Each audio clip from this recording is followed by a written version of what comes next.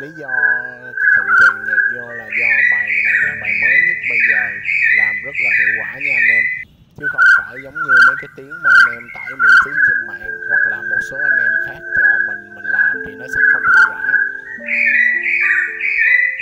Cần bản gốc đầy đủ hơn và không bị chèn nhạc vào, hãy liên hệ số điện thoại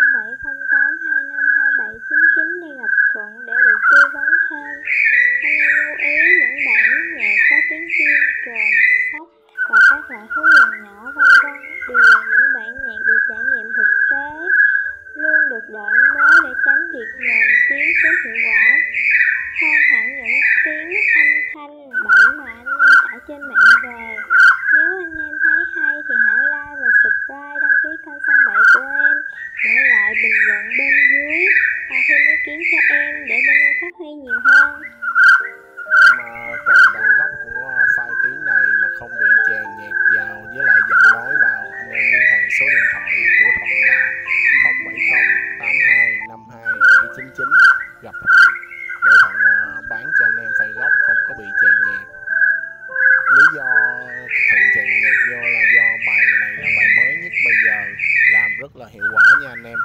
chứ không phải giống như mấy cái tiếng mà anh em tải miễn phí trên mạng hoặc là một số anh em khác cho mình mình làm thì nó sẽ không hiệu quả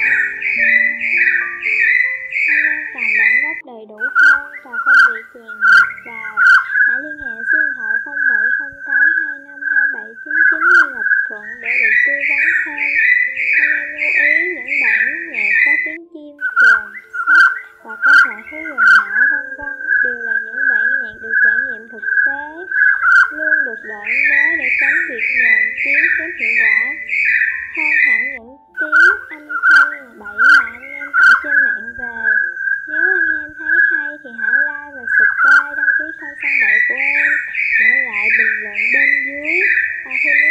cho em để bên em phát